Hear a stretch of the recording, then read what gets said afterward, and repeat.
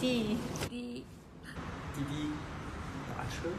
Uh, Didi is a taxi service application.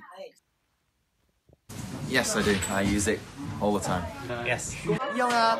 用过。 Yes. 用。 No.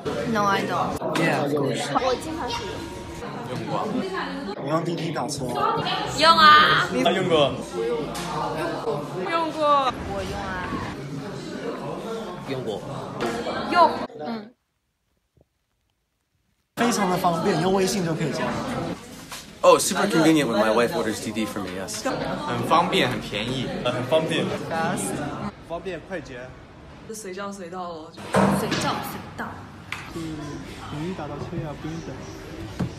really convenient just to, you don't have to be walking up and down the streets to be able to get a car.